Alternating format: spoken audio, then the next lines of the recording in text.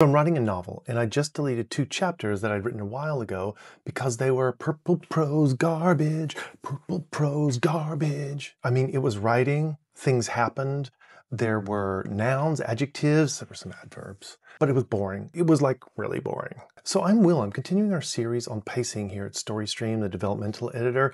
And this question I get asked a lot. How do you write a reflective scene, uh, something that gives the reader a chance to slow down and think and integrate without it being boring. Turns out there's a lot of neuroscience and literary theory about this. First, the neuroscience. So your brain loves unanswered questions. Like it really loves it. Like in 2015, they did a study of people reading suspenseful works, and these two areas of the brain lit up the area for prediction and the area for attention. So, what's interesting about this is that these two centers actually run on dopamine.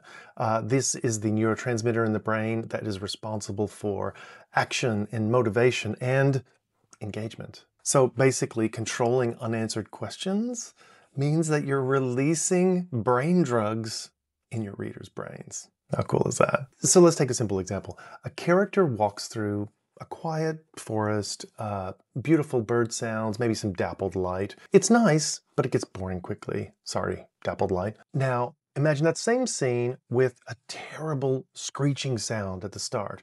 No explanation, no backstory, just an awful sound of like an orc having a baby while running its fingernails down the chalkboard. Do orcs have fingernails? It changes the vibe of the scene. That dappled light suddenly feels very different. And so there's a whole bunch of literary research on unanswered questions. Thriller writers know all about this because it's really the engine that drives thriller stories. So there's a narratologist called Meir Sternberg who argues that suspense, surprise, and curiosity, all things which arrive from outstanding questions, are literally what a story is. Also, there's a role called narratologist. I, no, my school counselor did not tell me that role was available. This effect happens across cultures and across time. You know, Sanskrit dramas and African oral stories and SpongeBob SquarePants. So the lesson here, unanswered questions, even for those emotional reflection scenes, are the key to unlocking readers' brain drugs and keeping them engaged. Brain drugs. I'm Will from StoryStream. This is the pacing series. You're here, I'm here. Let's do this. Subscribe. Bye.